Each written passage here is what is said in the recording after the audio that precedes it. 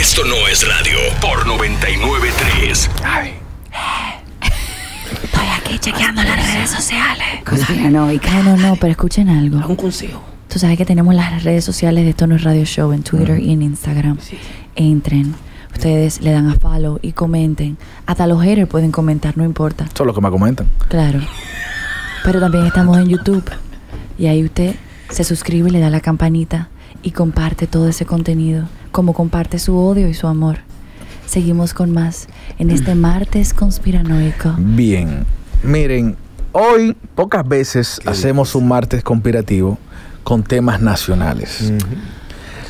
Y yo creo que una vez hicimos un especial de conspiraciones dominicanas Sí. y se nos escapó esta, se nos escapó esta, que es una que tiene que ver con el asesinato de un artista.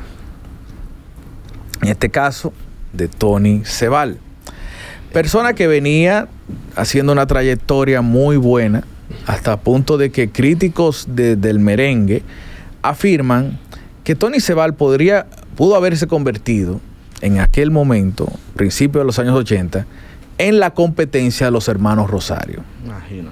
A ese punto. Mm. Y si usted toma ese, con los eh, eh, gitanos, esa- eh, ese- si usted toma el álbum de los gitanos, es una de las joyas del merengue. Cuando usted tiene temas como Para Bochinchar, Sí. El Muerto, La Maleta, de Ahora eres tú, Sí, que me caga la maleta.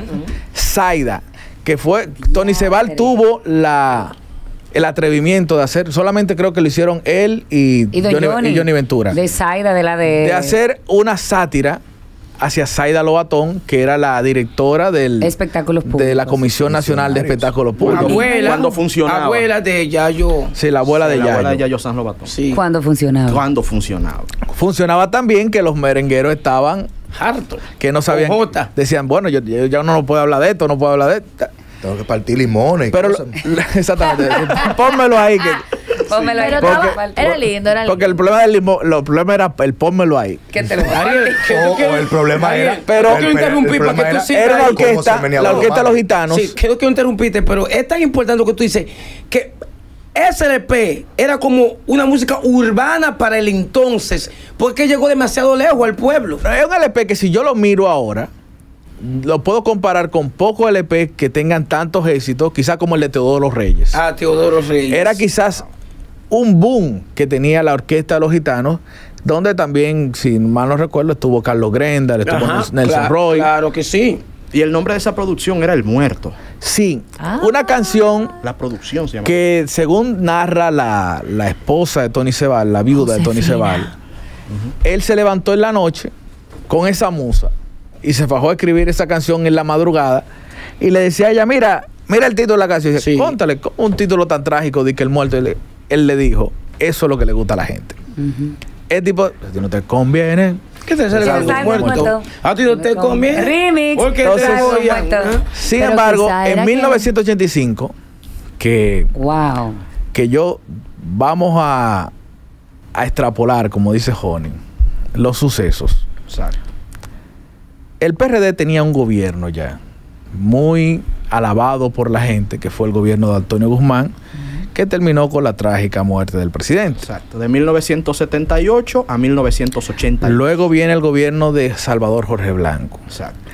Y yo en creo- el tercer año de ese gobierno Sí. cuando muere Tony Cebal. Cuando Creo que hay dos cosas que tumbaron el gobierno de Salvador Jorge Blanco y no como uno cree que todos los analistas políticos dicen que el PRD se tumba ellos, se tumban ellos mismos, sino que fueron la, huen- la huelga del La 84 poblada de abril de 1984. y la muerte de Tony Cebal. ¿Por qué la muerte de Tony Cebal? Porque Como pareciera se- que fue hoy, ¿eh? según dice la viuda, ahí vamos.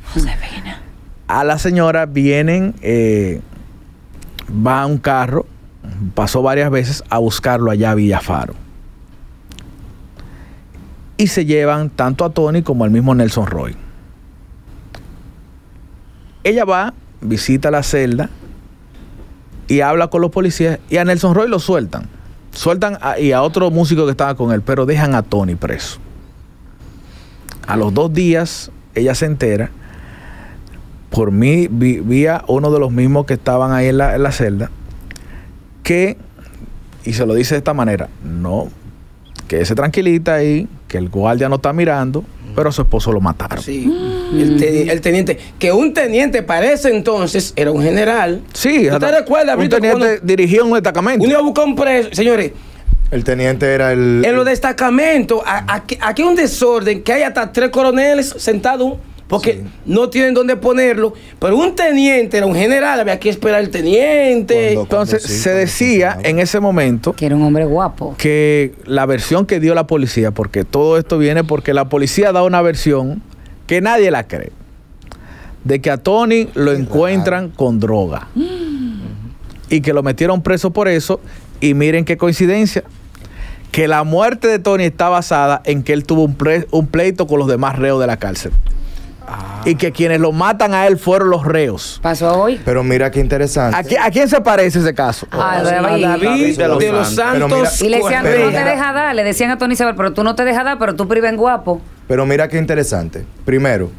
nunca se supo el nombre de los presos que estaban con él. Están esperando la autopsia todavía. Nunca se supo el nombre del médico que atendió a Tony Cebal en el hospital de las Fuerzas La Armadas. comisión que se crearon todavía Nunca está se supo el nombre de la enfermera que le dio los primeros auxilios.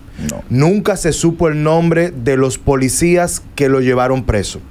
O sea, al igual que en el caso de David de los Santos, no hubo acta de arresto, por tanto no se sabía cuáles policías habían arrestado a David. Qué fuerte.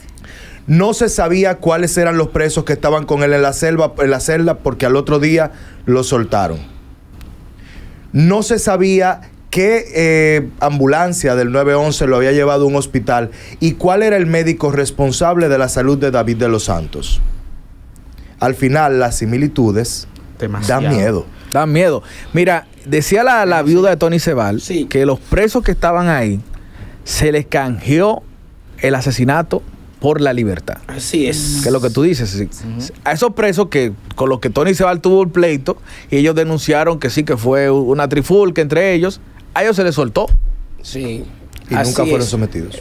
Exactamente. La autopsia fue una autopsia, dice Uchilora, que una autopsia, autopsia muy mal hecha. Una cosa extraña. Porque hablan de un pleito, pero la misma esposa dice que, que a Tony le partieron el corazón en dos. Ay, Dios mío. Tenía puñaladas la- exactamente. en las pies, en las extremidades, En la- en las manos y en los pies. En la Y en la plantilla. planta. La planta en de los pies. La planta de los pies. Que, que en un pleito, ¿cómo tú le das No, una porque- puñalada en la planta de los todo pies? el mundo sabe que una herida en la planta de los pies es un método de tortura. Sí, Exacto. de la misma manera que los testículos quemados Sí. son un método de Exactamente, tortura. porque los Nike queman, ¿verdad? Los Nike queman.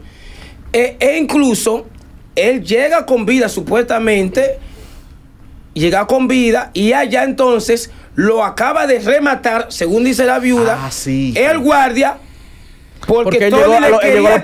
quitar el fusil. Al sí, hospital llegó al de las Fuerzas con- Armadas. Claro. ¿Cómo, cómo es que Tony llega con puñaladas y todo eso al hospital de la Fuerza Armada y pelea ya con otro? E intenta quitarle. Intenta secuestrar, Wow. secuestra a una enfermera e intenta huir.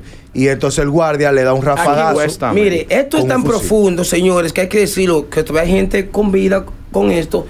Un tema, mire, tú acabas de explicar de manera magistral qué le hace el muerto, el tema del muerto que lo lleva a la cúspide y muere. Notori B&G Biggie hace un álbum llamado Life After Death. En vida, y de muere dos semanas antes de lanzar el álbum. O, o- oiga qué coincidencia Tony Sebal murió do- dos semanas después de- matan de- del a- estreno del a muerto. El álbum. Tony se va, hace el árbol muerto. Ahora bien, se acusa a. Cuervos Gómez, el ministro, de- el secretario. Hay dos, hay, dos- hay- hay dentro, de- es dentro de una- las teorías. es Una Una, de las de ellas, una de las teorías. De las teorías- Alegadamente. Por ejemplo, había personas que decían, eh, una cosa es la teoría que dio la policía. Luego se regó el rumor Que el pueblo no la creyó. de que él estaba con la esposa de, De un un general. Sí. Y que ese general fue el que lo hizo en El venganza. hermano lo desmintió. Pero la esposa dice que Tony Sebal aparentemente tenía una relación extramarital con una joven que era hija de una sirvienta de la casa de Cuervo Gómez. Y que esa misma ahí. joven fue y le dijo, Miren, a él lo mataron porque un día él fue a visitarme Exactamente. y los guardias preguntaron quién es ese. Y ah, no, que es el prometido de, de la señorita. Y que él vio Exacto. cómo descargaron un cargamento de droga en la Ahí- casa de Cuervo Gómez. ahí es Esa es una de las teorías. Sí, es una de las teorías. La otra Y según la, la muchacha dice que fue por eso que ellos comenzaron a perseguirlo. Y la viuda lo confirma. La otra teoría Porque es más se difícil. lo había dicho. Porque ya Cuervo Gómez no está. Pero la otra teoría es más difícil porque a quien señala esa teoría está vivo y hoy es funcionario del gobierno. sí, claro que sí. Porque en aquel tiempo esa persona era teniente, eh, apellido Marte, Sí, y Marte. luego en el gobierno de Hipólito fue jefe de la policía. Esa es Que la... imagino que la teoría hablará Hablará. de ese general Sí. eh, hoy retirado que dirige otro estamento del In- Estado que tiene que ver con drogas. Así Porque hay un tema, Sí. mira, la, madre, sí. la madre de, De de, Tony. de Tony, doña Yolanda Sepúlveda, que murió por el 2011, a los 77 años, ella dijo que la muerte de su hijo se debió a que se involucró con una joven que era amante de un alto mando de las Exactamente. Fuerzas Armadas. Que es la persona la, que- la que está diciendo Ujú. Martín. Bueno, eso, eso fue lo que la madre de él inclusive llegó a creer hasta el final de sus días. Y que se coló ese romance porque aparentemente, según la madre de Tony, su hijo empezó a, a retirarse, empezó a, a- a morir. Sí. Versión Salomé, que, que no quiso con Juan el Sí. Bautista Sí. y, y- y por esta razón le cortan la cabeza. Bueno, él parece que se cansó, se agotó la relación, no se sabe la relación. Él se retira, la joven quería mantener la relación y por despecho Ella va y habla. ella va y habla diciendo que no, que ellos estaban Como una y, a, venganza. y a raíz de ahí, Importante recordar que fue llevado al de destacamento de conspiración Villa. Juana. Otra cosa- Hay que recordar que fue al destacamento de Villa. Juana que fue llevado Otra Tony cosa, Ceballos. en aquel tiempo no existían las redes sociales. No, hace 37 años. Existían unos pasquines. Sí, 38. Y, existían unos igual. chismes de farándula. Si era pasquines que se Eran hacían pasquines que Sí. hacían. Y dentro de eso decían que había un general buscando a un director de orquesta. Ay, Dios mío. Oh, Sí. Dios mío. En- Se, se- se tenía esa teoría de que, y, y que incluso los familiares de Tony Sebal le decían, cuídate que, que no, yo, y él le dijo, yo no estoy involucrado con ninguna Pero es mujer. que Tony no era el director de la orquesta. Exacto. No. Pero él decía, mire, yo no estoy involucrado con ninguna mujer. hay algo tan, eh, tan importante de por Dios. Dicho por lo que investigamos, hay reportajes que Tony cae preso. Manda a avisar, que le avisen a Jackie Núñez de Risco y a Uchi Lora Sí. de que él estaba detenido en Villa Juana. Nunca le pudieron llegar la información. ¿Por qué? Porque Tony cantaba todos los miércoles en el show del mediodía y no podía presentarse. ¿Qué sucede? Que yo no quiero hablar de, de Salvador Blanco y Polio porque está muerto, pero explica el, el reportaje que cuando sucede la muerte, Jackie Núñez de Risco le dice a Uchilora que haga un reportaje y que saliera en el show del eh, que saliera en el canal 9 en la noche. Eso era un Nuria Piera o era un Alice Ortega, un informe. Ese informe hace que Villafaro y, y completo el pueblo se levantara a exigir, eh, a exigir Justicia. justicia. Se prendieron velones en todos los barrios y según ese reportaje, el presidente Salvador G. Blanco, Tuvo que hablar. junto con la policía, mandó a hablar y a pagar velones y todo aquel que tenía una vela encendida en su casa era Problema. arrestado. ¿Qué pasa? Lo que acaba de decir Ariel, que ese gobierno tuvo problemas por esa Pero ahí viene. Sí. Ese reportaje hace, ahí está documentado, que Jorge Blanco invitará a una cena de manera extraña al administrador del Canal 9. Luego, después de cenar, a eso de las 9 de las 10 de la noche, comienzan a hablar y cosas. Jorge Blanco le habla de una manera extraña, enfurecida, de que no debieron haber sacado ese reportaje que había hecho Uchilora. Esto está, esto está documentado porque no estamos haciendo falacia. ¿Qué sucede? Que había pasado un, un, un un huracán a tal magnitud que se cayó la única antena que tenía Canal 9. Se comenzaron a transmitir programas muy difíciles y hicieron una inversión de una antena que nunca salió del muelle hasta que no perdiera Jorge Blanco. Manera extraña que le impidieron que esa antena que en el muelle quedó hasta el próximo gobierno nunca saliera Como una retaliación. Sí. como una retaliación. Ahora voy más lejos y esto sí es difícil. ¿Por qué persiguen a Tony Sebal? Porque supuestamente usaba droga o que, o que la agrupación vivían en droga.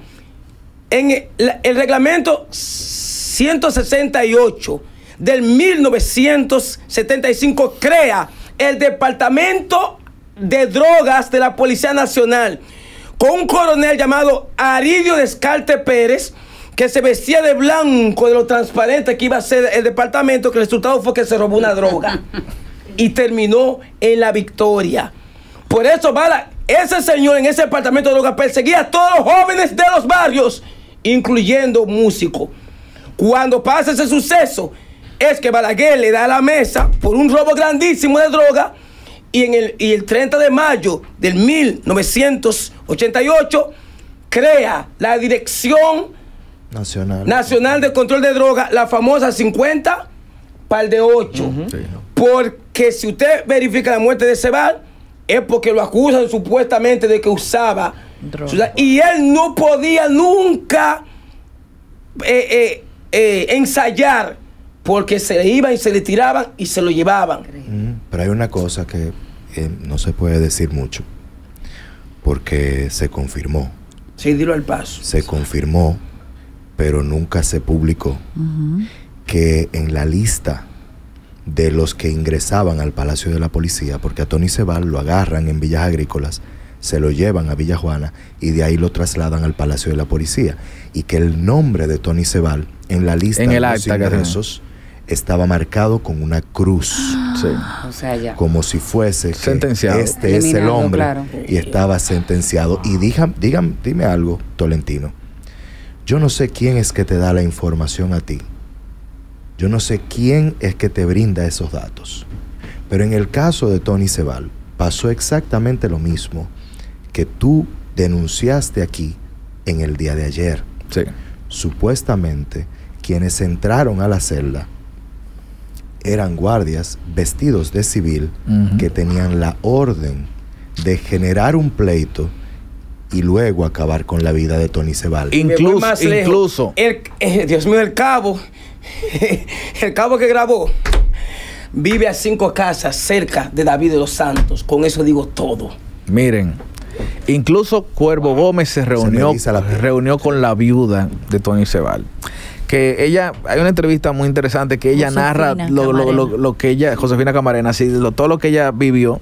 Que incluso cuando ella fue al destacamento, había otra muchacha que tenía un novio que le decían Tony Sebal, que estaba preso ahí. Wow, sí, porque sí. se parecía mucho a Tony. Es- Dígase que andaban buscando a Tony. Sebal Claro, como sea, claro. como sea, y parece que lo confundieron. Y que le dicen, y cuando le dicen que lo mataron, la muchacha que estaba ahí estaba vuelta loca porque creía que era, al Su novio. que era el de novio suyo que había matado. Dentro de todo esto, Cuervo Gómez cita a la madre de Tony Sebal junto con el jefe de la policía. Cuervo es. Gómez era jefe de, de la Fuerza Armada. Y le muestra a Josefina que supuestamente Tony Sebal rompió un inodoro para agredir a los demás presos. los demás. Wow, pero era. Hulk.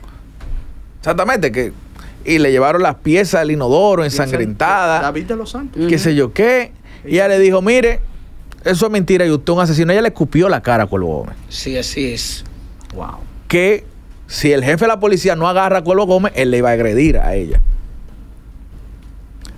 De tal manera que ella estaba muy consciente de lo Claro, que pasó, de, de lo que le, de lo que le hicieron a Y su te digo que, que- y, y que sirva como reflexión, porque esta teoría conspirativa lamentablemente continúa. Lamentablemente. O sea, estamos hablando de un suceso de hace 37 años en donde está involucrado la policía, que tiene una semejanza que pasma, que hiela la sangre con un suceso de hace apenas unos días con la misma policía. O sea, es como si no avanzamos en el tiempo, es como si los problemas de ayer son los mismos de hoy. Y esa policía, trujillista balaguerista, parece que tiene las mismas prácticas, no ha cambiado y son la misma amenaza contra el Una pueblo. banda colorada. Lo mismo que está Eso es pasando. terrible. ¿Por qué el que graba a David, Yulisa Céspedes, formidable? Eso, eso de, de salir, hay que dársela Sí, aquí. sí, sí, Yulisa dársela. hizo un trabajo increíble. Señores, el cabo ¿Dónde está él? Alf- Alonso Hernández, míralo ahí. A- Alfonso de Sena Hernández, el cabo que está grabando, oye eso, Brito, es, vive cerca donde, donde vivía David de los Santos Correa. Porque ese era el que estaba identificando. Ese es el hombre que estábamos buscando. Por eso ese cabo está grabando eso. Porque él Para decía, acta ¿por qué le- no está el capitán grabando? Por- porque no conocía si ese era el hombre. Y él, vuelvo a repetir, el cabo, Wow. eh, Alonso de Sen Hernández, vive donde vive Eloy Ociso. Y era el que estaba grabando desde afuera mientras mataban Claro. vilmente A David. de los Santos. Y para terminar, presidente, Ariel, Ariel Santana, el sensei, empezó con algo muy importante. Trate, señor presidente, trate de que no sea el Tony Sebal ahora de un partido con su insignia partido. nueva, llamado Partido Revolucionario Moderno. Haga lo que tenga que hacer, porque confiamos en usted. Yo me quiero unir también, Tolentino, a todo lo que ha pedido el público que vio tu denuncia el día de ayer respecto a David. Que te dé mucha vida y salud y mucha protección, porque en un país como este, como estamos viendo los abusos que tienen con los ciudadanos, a veces uno tiene temor y tiene miedo de decir las cosas como son. Y te agradezco en nombre de todo el equipo de que tú no tengas ese temor, que no tengas ese miedo y que seas la voz del pueblo. Y agradecer a todo el público por valorar esas cosas que se traen a la mesa. Sí. Muchas gracias. No, no, y que eh, cuidarte, porque Sí. en ese tiempo la vida de Jackie Núñez corría peligro también. Exactamente. Entonces, Y en la de conclu- Uchi Lora Y don, comenzaron y a Uchi Lora y dijo, él no tenía ese perfil que se le está adjudicando a no. Tony Sebal. Entonces, si no se supo nunca lo que pasó con Tony Sebal, No no, se, no sabe. vamos a saber nunca lo que va a Porque No son Eso fue los pueblos que actúan así están condenados a repetir su historia. No, yo lo pregunto porque yo creo que tenemos que hacer algo al respecto. No, No, y al no, final, no. señores, vivir con temor es lo mismo que estar muerto. Por Dios. La primera vez Es- que yo escuché el nombre de la persona con la que había tenido el conflicto, eh, David de los Santos, fue aquí en este programa y lo dijo Tolentino porque nadie lo decía. No, aunque No, lo sepan. Porque había miedo. Y te digo algo, y, y siempre recuerdo esta expresión de Thomas Jefferson. Cuando el pueblo le tiene miedo a las autoridades, se vive en dictadura. Cuando las autoridades le tienen miedo al pueblo, se vive en democracia. Entonces, ese crimen, la madre de Tony Sebal, de 77 años, murió sin saber qué pasó Wow. con su hijo. Eso no puede seguir sucediendo en Quisqueya. Es y a mí impunidad. me duele demasiado que, repito, 37 años después seguimos en lo mismo. Por eso el llamado de Tolentino, la valentía de. Tolentino, la denuncia de Tolentino y el trabajo de Yulisa tiene Excelente. tanto valor para poner un stop. Y para no que nos se interesa que nos estén escribiendo que si pusieron una cámara en el naco, que si esto, que si aquello. Ese cabo tiene que aparecer porque fue un abusador, asesino, Sí. que grabó el hecho, que se burlaron de un ciudadano y que ustedes no supieron manejar a una persona con una situación o con una crisis psicológica. Porque ustedes no saben tratar al ciudadano decente que anda en la calle. No los entrenan para eso. Ni No los entrenan, son unos abusadores. Y lamentablemente, si hay hombres que manchan el uniforme, sí, Sí. están haciendo más ruido que lo que están haciendo el bien. Lamentablemente. Lamentablemente. Miren, y, y es tan lamentable, entonces 37 años hace de eso, Sí. que uno se cría con esa, con esa imagen de la policía. Dios mío, sí. Y, y con esto yo iba a comenzar, pero lo voy a decir ahora al final, porque fue es algo que en mi familia se cuenta como algo jocoso. Sí. Mi primo Melvin Mora, que me lleva un año y pico a mí, estaba un niño, tenía cuatro años cuando eso. Iba con mi tío José Luis en un vehículo y lo pararon varios policías. Y de que el niño vio a los policías, de que Melvin vio a los policías, atinó a decir, eso fueron los que mataron a Tony Sebal. ¿Por qué? Porque desde pequeño Así todo el mundo tenía entendido que a Tony Sebal lo mató la policía. Le entraron un Entonces- grupo de hombres a la celda, lo mismo. ¿Entiendes? Pero todo el mundo había, había, había, ese era el rumor que había. Y es malo que uno crezca con esta imagen de la policía, con una imagen de que a ti te para un policía y tú inmediatamente miedo, sientes una, miedo. una molestia. Sí, sí, sí. Hay temor. Y como Sí, Tony, muchísimos casos, porque todavía no sabemos qué ha pasado con los dos muchachos que salían del culto. Con los Eso, cristianos. es- es Lo más, que no ¿tú sabes queremos es que cuando ¿Tú vengamos en la noche, que veamos un policía, le tengamos más miedo que al delincuente, delincuente. sino Sí. una seguridad que nos va a llevar a la casa. Hay un tema, hay un tema que tenemos que verlo más adelante. Evidentemente hoy no hay tiempo. Pero ¿y si el caso de David de los Santos no es el único en República Dominicana, pero con otros han tenido éxito? ¿Cuántos muchachos desaparecidos en la República Dominicana nunca Bárbaro. se ha sabido de su paradero? Bárbaro. ¿Cuántos muchachos en zonas muy parecidas y con condiciones iguales, como es el caso, por ejemplo, de eh, Aneudi.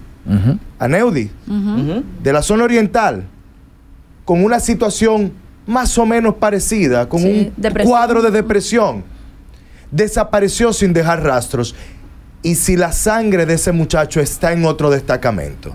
Muy Dios. Y si la sangre de otros muchachos que han desaparecido en República Dominicana y que nunca más se supo de ellos, Me da miedo. están Claro, en me da otros miedo. Me da, destacamentos. me da miedo porque Claro, el, año miedo. pasado tuvimos varios casos de personas desaparecidas. pues, El récord. Dios mío. Incluso Andy. Sí, claro, Sí, Andy. ese Aneudi. Y no se No, ha sabido. Andy, No, no, no, el no, actor. Andy, el actor. y como dice Joni, como la policía no está preparada, una persona con problemas psiquiátricos, el, el policía ve que un, que un tigre que está desobedeciendo la ley, porque no conoce el Estado, Claro. que es una depresión, ¿y qué va a suceder? O Claro. peor, o a veces no es un tigre simplemente que está violando la ley. Es una persona indefensa con la que yo puedo jugar mi rol de opresor y puedo divertirme dentro de mi psicopatía. O sea, riéndose, de verdad. Como dijo Tolentino, Horrendo. que David no sea el Tony Sebal de este gobierno. Dios. Nosotros regresamos mañana. Cuando el reloj marque las Las siete. 7, no te entrega más de esto, no es Radio.